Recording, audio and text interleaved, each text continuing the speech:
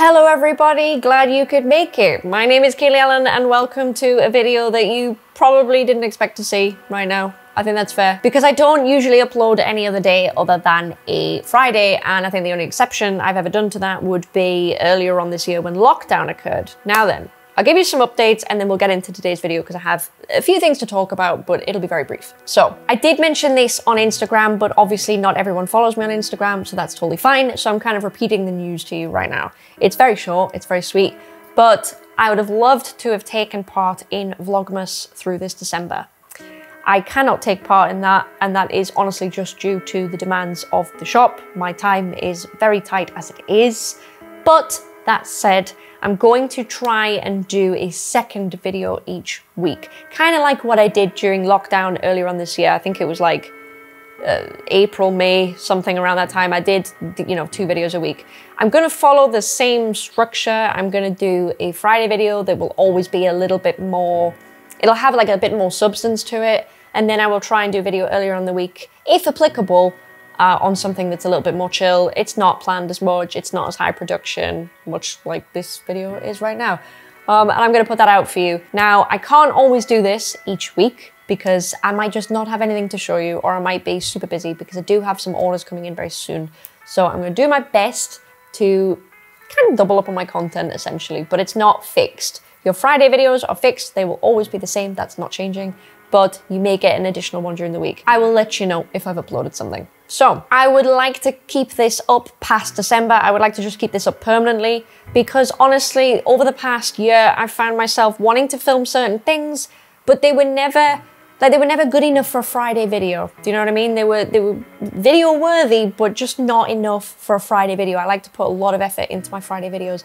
So I think this helps. I think instead of just not filming something, what a waste. I can film it and just put it out earlier in the week and it's not as substantial. So moving forward, I would love to do that. And I guess this video today kind of kicks that off a little bit. So I'm sat in my studio right now and you may notice that my Hoya are not behind me. Long story very short, I just felt that Hoya being in this room was a little bit of a waste of the space in terms of what's on the shelf. I really wanted to create more of a like a leafy, luscious moment behind me, kind of like the living wall, I guess.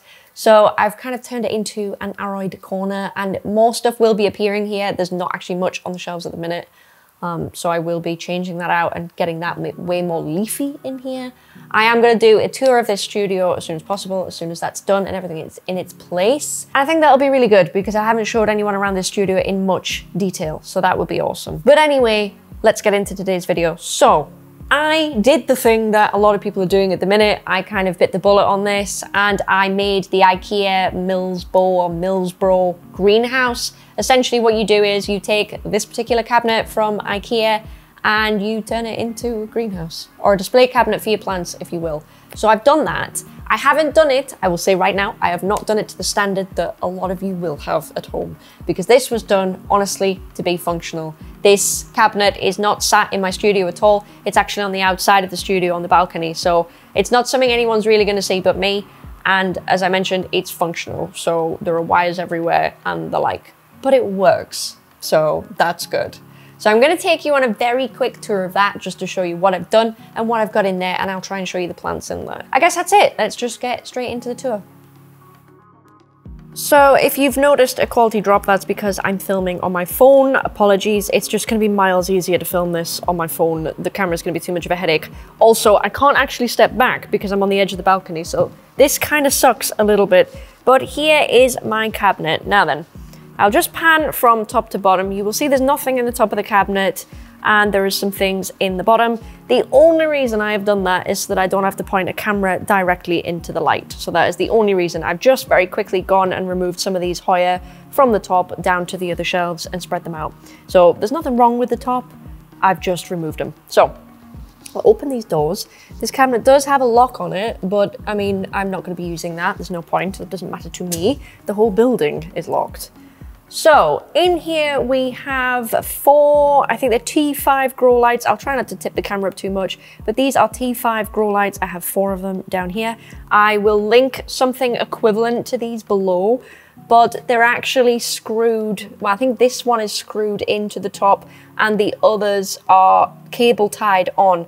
Now then, this cabinet does come with, I'll show you right here, these glass panels. And, funny story, don't try and stick your lights on with double-sided sticky tape because it won't work. The light, uh, the heat from the light, sorry, will just have them falling off. So that was the test that did not pass. Also, don't try and drill a hole through the glass because it is, I think it's tempered glass and it doesn't really drill holes through it very well, even with a glass drill. At least that was my experience of it. So what I've done is I've taken some of my very awesome IKEA shelving and we've turned it into a shelf. We've cut it down, that's why it's a little bit botched at the back there, and we've made it into a shelf. The cable for the light at the top is fed upwards out of the cabinet, and the other cables are not very eloquently fed down the side and out through the bottom of the cabinet. That's how it's gonna be at the minute. As I say, this is a little bit more of a rough setup.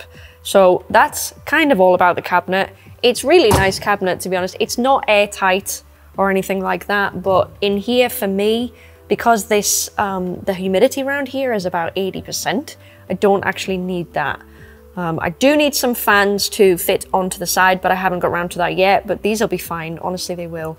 Um, and if, if, any doubt, I'll just keep the cabinet doors open because like I say, I don't suffer with the problems that other people might suffer from. I've just tampered with the exposure there really quick to stop this whole thing from flickering. So hopefully that's made it a little bit better. Right, anyway, just to take you on a quick tour of what's going on in this cabinet. So over here at the front, we have a Hoya Polyneura Brogue, Brogate. I cannot remember how to pronounce it, guys. Very, very sorry. But this basically is a Hoya Polyneura with silver speckles. I'll try and zoom in on my phone. Don't know how kind it's going to be on the focus front. It seems to be doing all right. So it's a really, really pretty Hoya.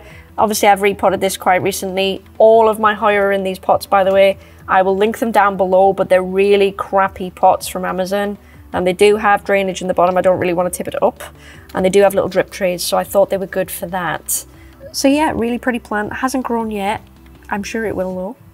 Behind that at the back, we have, it's actually a couple of Hoya Carnosa Wilbur Graves in one pot. When I repotted these on camera, I didn't do the best job of putting them together, so they look a bit silly. But they're pretty nice. There's a new leaf coming in there, and then there as well. Really, really pretty plant. I don't know what's going on there. That, that was like that when it got shipped to me, so I guess it's just some shipping damage, I don't know. It seems to be stable though. I think it lost one leaf when I got it, but otherwise it's fine. Uh, we'll zigzag, why not? So this is, oh, it looks quite nice on camera actually. This is my Hoya Carnosa Freckles Splash. Now, according to what I'm told, the only difference between this and, you know, any other silvery Carnosa, well, there isn't one, apparently.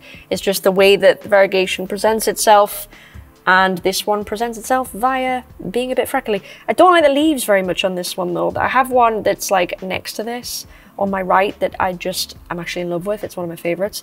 This is not my favorite. I would actually probably sell this. I did buy this at the time, if anyone has seen my uh, my Hoya haul. I did buy this just to compare it with the plant that's over here, which I'll show you in just a moment, to see what the difference was because I wasn't sure. Um, the new growth on that has come through a little bit green, so that's not great. I think the growth before that's come in a funky shape. Likewise, we've got that there. But again, that doesn't really bother me. It didn't bother me when I bought it. It was kind of just, you know, let's see what's going on with that. So that's okay. She's okay. She's nice. But this, this girl, this is literally probably my favorite Hoya in this cabinet. I'm not actually kidding. I have a lot of like high value Hoya in this cabinet. This is just the best. This is, I am told, Hoya Carnosa Stardust. Again, a Hoya Carnosa with just a lot of silver on it. Now, I actually think that if you really want a Wilbur Graves, this here is not a terrible option. It doesn't look too far off, and to be honest, this Hoya right now is more speckled than a lot of my Wilburs in this cabinet, which you will see as we kind of go through the tour. So that's kind of interesting. But honestly, if I just tilt it to the light, you can just see how amazing it is. It's obviously got some new leaves coming in. I don't know if the phone's going to let me show you. Doesn't look like there's any splash on that, which is not amazing. I still love it all the same, even though I'm told that it's just a regular Carnosa, but I love it, it's cute. Now I'll kind of show you these two at the same time. I'll just push them a little bit closer together for your viewing pleasure. And these are my two Hoya Carnosa Grey Ghost. I think it's a type of Carnosa. Now, I quite like these plants. I did get one of these plants A as a backup and B to propagate. So I'm probably going to treat this plant here as my own plant and this plant at some point I'm going to propagate and grow on from that. Is that a new leaf? I don't know. It's so silver. Um, really nice plants. I haven't noticed any difference, by the way, in the care of any of these that I'm mentioning. Actually, I don't think I've noticed a difference in care across any Hoya ever. The only difference I think I notice is the Polyneura varieties are a lot thirstier. You don't have to treat this as much like a Hoya as the other types. They seem to be able to take a lot more moisture, so that's really interesting. But yeah, my ghosts, my grey ghosts are really nice. There's one up close, and there's the other up close. Sorry, I've got a lot of mess to the side of my cabinet. Hopefully you can't see too much. I'm in the middle of cleaning up the shop at the minute, so there is stuff literally everywhere. Like if I show you down there, it's not good at the minute, it's a mess. So I think if I move back without hurting myself, that's it for the first shelf. Again, these were further up on the shelf, but just for the sake of your viewing pleasure, I've moved them down because you can see the plants better. So these are all the ones on this shelf, looking great. They've only been in this cabinet, every Hoya in this cabinet actually has only been in here for maybe two days. So if anything goes wrong, I will be taking them out. But for now, there is no change at all. So moving down a shelf, we have this little boy here with his slightly dried up, you know, issue over here. This was because I think I got it. I put it in the studio next door and I didn't get around to watering it quick enough and we had a bit of a dry out situation. But this, I believe, is Hoya crassipetiolata Splash. I do have a regular one. You're not going crazy if you thought that I hold a regular one a while back. I do, but it's still in LECA. That's the only reason it's not in this cabinet. So any of the Hoya that I've hauled that were in LECA on my videos, they are not here. They are downstairs in LECA. So just in case you thought that some stuff has gone missing, it hasn't. This is another, it's a group of two Wilburs actually. Not the best, to be honest. Not the best. They're okay. They're growing. I think this is a new leaf here. I thought there was some new growth elsewhere. Oh, there's some new growth right here. What am I talking about? Right there, there's some new growth coming in. Nice, but not the prettiest. I, I hope for, for more as it grows, I think, to be quite honest. Moving on, we have this very unhappy looking Hoya, uh, is it Hoya compacta regalis, regalis? It's not happy because I let it dry out. So it's looking really unhappy at the minute, but it's okay. I do have I have this one, I have one through in my studio on the windowsill that's really sexy. There's an Instagram picture of that on my Instagram. And I have a really long one that I also hold. So that's a different one from those ones. It's not looking great, but hopefully under these lights it starts enjoying itself. Moving on from that is a Hoya that I really, really, really can't wait to get a full plant of. If anyone finds a full plant of this, buy it because at least in the EU, they're not the easiest thing to get. I would absolutely adore having a full plant of this because I just think it's great. My phone may be blowing it out a little bit here, um, but it's just really, really pretty. I actually don't know if I said the name of the plant or not. This is Hoya Heuschkeliana variegata. So yeah, you can get green versions of the plant, but obviously, variegation for the nation, it is better. It's grown really well since I've got it actually. Um, these are new, and I think these are new here. They're coming in even now. So it's doing really well. All of these plants prior to here obviously have been in the studio, and to be fair, they did love life. It's just I really want something a bit more leafy in there.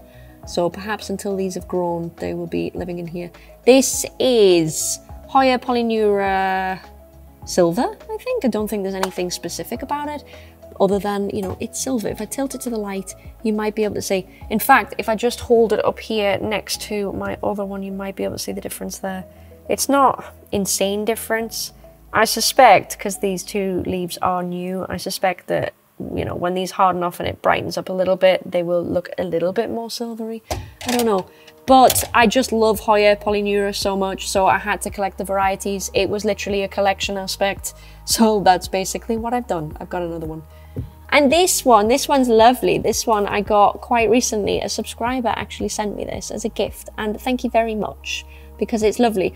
This is Hoya, is it Sigillatus or Sigillatus? I think it's Sigillatus. So that's a little cutting that I have just growing in the same manner as the rest of them. Um, and I think that's kind of, oh wait a minute, what's that? Is that mealy? Is that mealy? Oh my god, is that mealy? Let me have a look. We're doing this on camera, guys. Is that mealy? Is that mealy? Is it? Is it?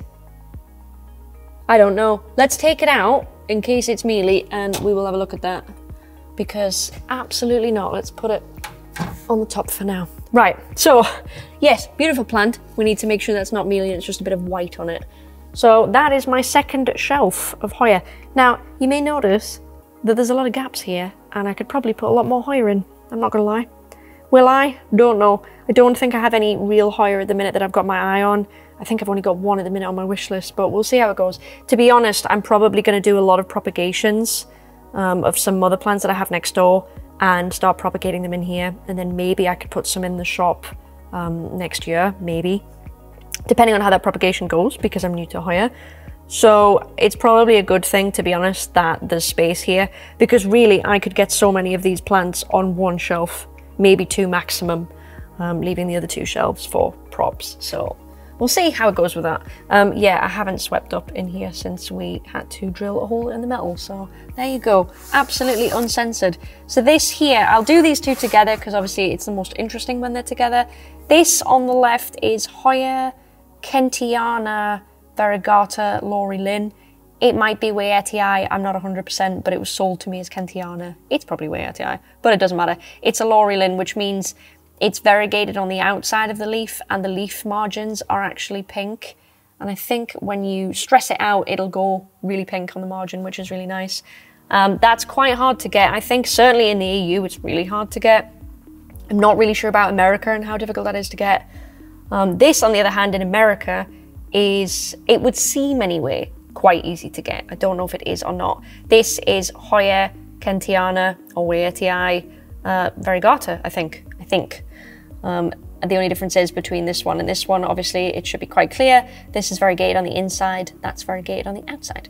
Um, really pretty plant, as I say, I would love a full plant. This is all I've been able to find for now. I do have some smaller ones that I showed on, on a repot recently that I've actually gathered into a bigger pot and I'm hanging it next door. So hopefully they will grow into a bigger plant. Until then, I just have this boy. He's lovely, but he's all I have. So that's those two there. Again, this one is, or at least seems to be much more difficult to get than this one.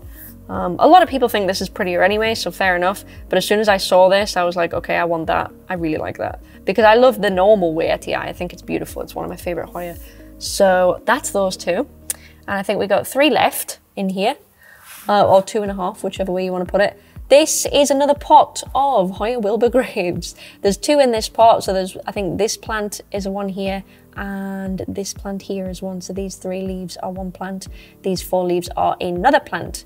And again, not unbelievable amounts of silver. It's growing though, so that's awesome. Let's see if I can get a good close up without my uh, camera phone hating me. It's a beautiful plant. Um, I'm just getting very different, uh, you know, differing levels of, call it variegation. But to be fair, you get that with every plant. So I'm just learning everything I can about these Hoya. Ooh, let's put them in a line. I think that's quite hot. And this last Wilbur is this one's been on a journey. It's not a particularly interesting journey. It got lost in the mail, I think, earlier this summer. I swapped this little guy for a lupinum, I think, with somebody on Instagram and it got lost in the mail. Honestly, guys, I think it got lost in the mail for like two weeks, maybe more. Um, I think it came back to obviously the person that was swapping with me, and I, personally, I think she was quite lucky to get it back because I, I would have thought it would have just gone, gone missing. Um, but for whatever reason, she got it back. She rehabbed it. I think it's pushed out. It's pushed out this newer leaf, and she has recently sent it back to me, so that's awesome. Oh no, is that actually just? I've just lost a growth point. Well, that's just crap, isn't it? I've also just got soil all over the bottom of this cabinet, so, you know. You know me, we don't censor anything here. And this last plant that is in my cabinet today to show you is a Hoya Thomsonii, I think, splash anyway, a very splashy cutting of one. It's kind of like, I, th I, think I said this on the video when I hold it, but it, it kind of feels like a cat's tongue. It's really bizarre. This one got a little bit underwater downstairs when I was um, doing a lot of stuff in the unit, so it's it's kind of, it's hurt itself a little bit. I don't even say that. It's not doing amazingly, but it's okay. Um, I haven't repotted it or anything, maybe I should. It is what it is, but it was a little gift um, from the person that sold me quite a lot of the Hoya that I've got actually. As I say, all of my other Hoya are at the moment downstairs in LECA. I probably will transition them to soil if I want them to be mothers. Um, but that's that. There is a very special new Hoya that I got recently that I will probably just wait to show you. Um, I think I bought it like a week ago. It's beautiful, but I don't want to show you it yet because it's not in this cabinet because I, I felt too strongly about it to put it in this cabinet in case something went wrong. And I know that sounds crazy because there's tons of Wilbur and Grey Ghost in here, but I'm just loving the Hoya that I have. So I will show you that at some point, but it's not in there. But that's kind of my cabinet. If I just shut the door on it, like so. As I say, it locks, but I, am not going to use that. I mean, you're not going to come for the Hoya in this cabinet in this shop, are you really? So that is a very quick tour of my cabinet. Now, as I say, it's just not done, you know, with the most finesse. It's not. It needed to be done quickly so I could get these in here and it needed to work. So that's kind of that. Obviously, I've just got loads of stuff everywhere. It's kind of ridiculous. But that said, if I like this cabinet, if this cabinet does well for me, what I will probably do is make another one actually, and I'll probably put it next to it. I think I'm going to just leave two shelves in instead of four and then use it for larger aroids. So that might be nice, but I will honestly see how it goes with this cabinet. Um, but yeah, that's kind of that's kind of it really. That's what we're using it for. I will get these lights on a timer. They're not at the minute. They're just I come on in the morning and I put them on, and then when I'm done, I turn them off. But they will be on a timer at some given point when I go and buy a timer. Um, but I guess that's it. That's it for this video. That's just a quick little tour of my new little cabinet. That's what I've been up to this week, along with tidying the shop, which I'll just give you a little bonus pan around at the minute that's probably not going to show you much because my settings aren't on auto. I've had to bump them to show you the inside of the cabinet with the lights. But there is a ton of stuff there. There's some shelves there that are clear, waiting for some orders to come in. But there's just stuff everywhere. It's tidy, it's just, nah. This is tidy, over there not so much. So that's kind of what's going on at the minute. Anyway, guys, that concludes this video. I know this is very random, but this is normally why I don't do double content because some things just, to me personally anyway, they're just not video worthy. But that said, I hope you enjoyed it and I will see you on Friday. Have a great week, guys. Bye.